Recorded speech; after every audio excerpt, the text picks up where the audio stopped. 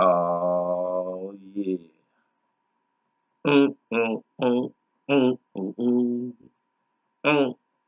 It's been a long. James Prince. I told y'all, y'all gonna put some respect on that man's name. Y'all just act like he's a guy that's out here. J. Prince is represented by one word that he has always pushed through the entire world. That is respect. That's all J. Prince has ever requested from anybody, has ever asked anybody to just pay him. Respect, man. And he just makes sure people uphold that bargain of the word respect. He don't bully you. What do he got to bully you for? There is a reason people like Drake are loyal to him, not because he's extorting Drake. His son is the one that found him on MySpace. So before Drake was anything, J. Prince was there with him. That's all. He's family.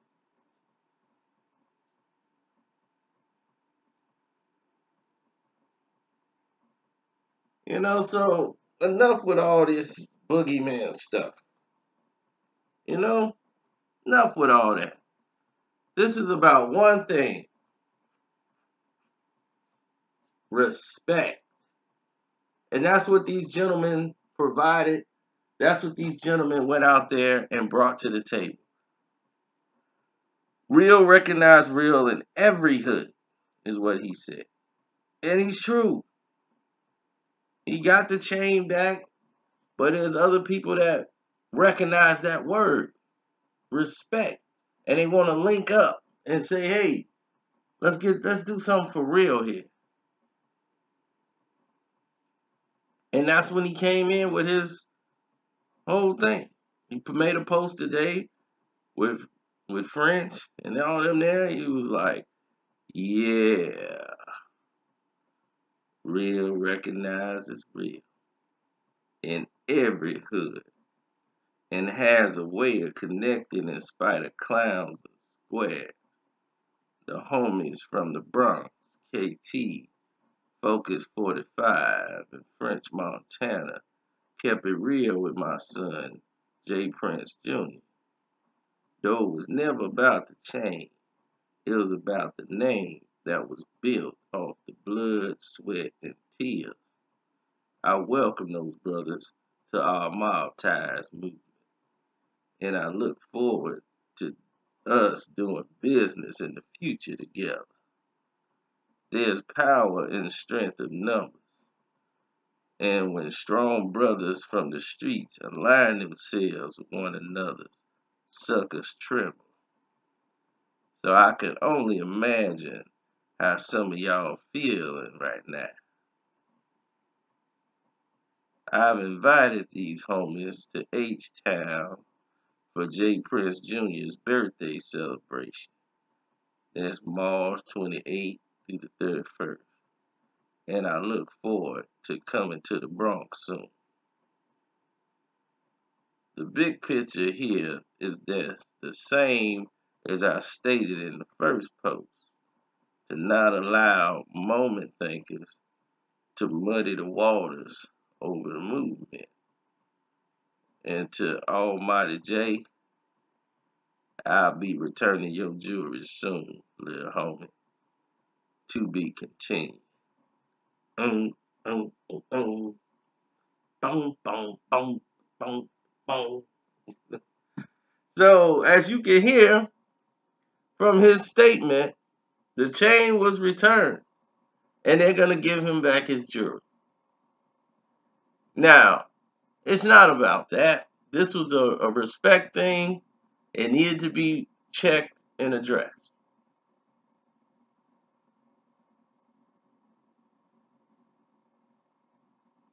Now, people like, how he get that? It's not about how he got it. It's the fact that he got it. That's the question.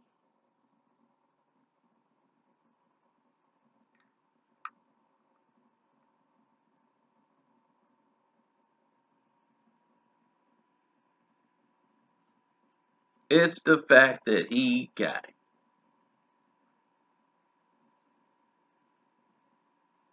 And that's all that matters.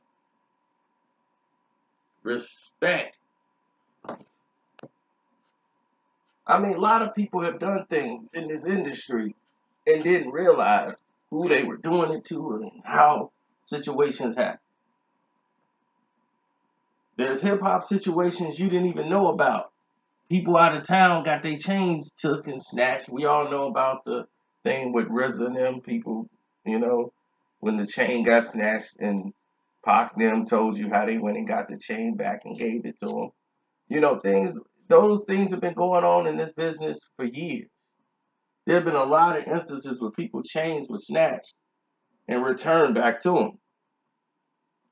You know, this happened to Nas in a situation. This happened to Prodigy. This happened to a lot of East Coast rappers.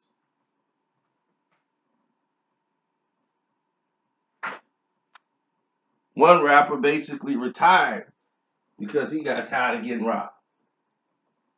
Like, man, forget this game, man. They keep robbing me. I can't even go to GameStop.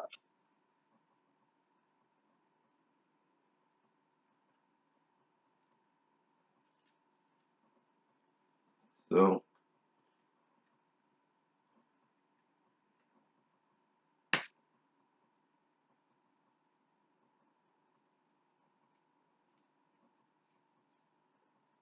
taking of someone's chain is like a sign, an ultimate sign of disrespect.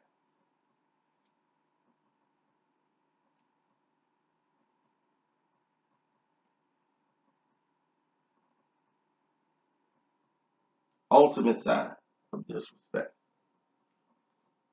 You feel me? And when you have this ultimate sign of disrespect, problems ensue. And one of the major problems here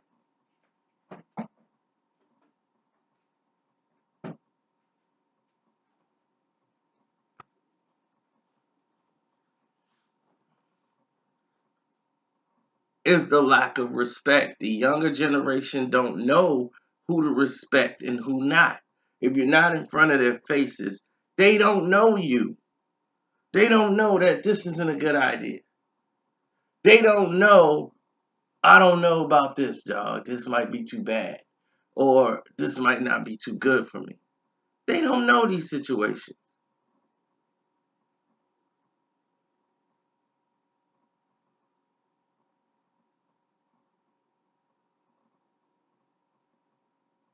They really don't know.